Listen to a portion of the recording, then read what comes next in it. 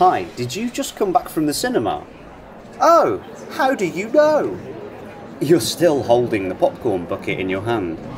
Ah, yeah, I've just seen the film Conan with some of my friends. Did you have some time to talk? I want to know what's different from today's movies and movies in the past. Well, I want to share with you something about the film. Okay, let's go to the coffee shop on top of that building. Good idea. What do you think about movies nowadays? Well, personally, I prefer movies from the past rather than nowadays. Because they reflect real life more accurately and they're more emotional. On the contrary, movies nowadays are too commercial and they've lost a lot of other factors that attract people like me. Ah, I'm the opposite to your opinion. I'm a visual person, so effects and animations count a lot for me. I get bored with romantic movies. I love animated films more. Yeah, I know what you mean now. I guess it depends on the preferences of each person. How about looking at the way that we access news today and in the past? Well, it can't be denied that nowadays people have many more sources for news and information. I think that there's a lot of untrustworthy information now, though. Do you feel the same? I couldn't agree more. I'm inclined to believe that social media use occupies the majority of time, so I don't have time for newspapers or articles. I don't even know what's happening around me. I just keep updated about celebrity news. I feel that I'm definitely less knowledgeable than I was in the past.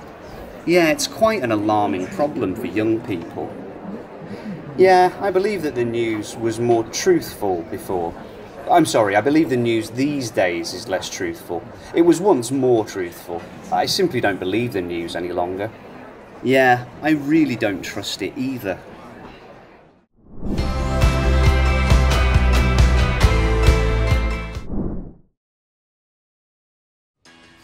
Hi Mark, how much time do you spend working out every day? Usually a couple of hours. Like one of my friends, you are a true fitness enthusiast. As you can see, I'm enthusiastic to work out every day, and I've got a really good physique. I'm not quite a fitness freak though. Spending two hours at the gym like you would be a lot for me. You really enjoy working out, don't you? I still continue to engage in bad habits, like staying up or eating fast food. In my opinion, a fitness freak is someone who enjoys working out and uses it to relieve stress. This is not what it actually means to me. Simply said, I believe it's just a time killing activity that also benefits my health. I might attend the gym tomorrow. Will you act as my personal trainer? I'll treat you. That's a good idea, yes. I've got no problem doing that. Okay, bye.